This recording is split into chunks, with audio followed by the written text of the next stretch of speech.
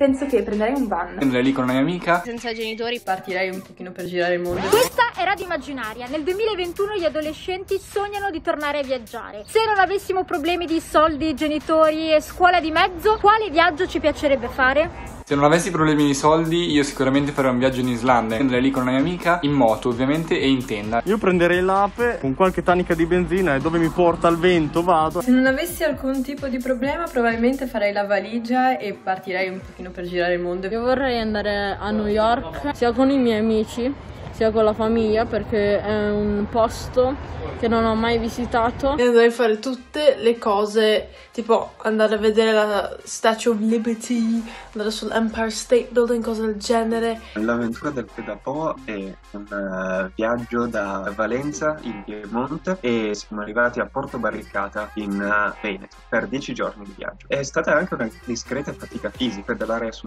un pedalò piuttosto pesante con tre persone sopra, uh, quasi un centinaio di chili di robe, la considererei quasi un'impresa sportiva. Penso che prenderei un van, lo ricostruirei un po' per poterci vivere dentro e andrei da qualche parte. Andrei in Sri Lanka, che è un'isola vicino l'India, così che avrei tantissimi soldi per costruire degli hotel giganteschi. Il mio viaggio dei sogni è fare l'Interrail con le mie migliori amiche, senza genitori perché le vacanze senza mamma e papà sono sempre le migliori. In futuro mi piacerebbe andare a Sydney, pure a Melbourne, che in Australia, che sono due città bellissime. 4,200 kilometers yeah. by skate from Melbourne to Cairns to raise money uh, to build a skate park in Laos. I feel like now it's just this growing sport that's getting really big and popular. And last thing that the government's going to spend money on is a skate park. And so this is just something that I thought maybe I could put together. Sì, sì! Martino e Gordi sono esempi di ragazzi che sono riusciti a realizzare il loro sogno. E allora buon viaggio a tutti, alla prossima,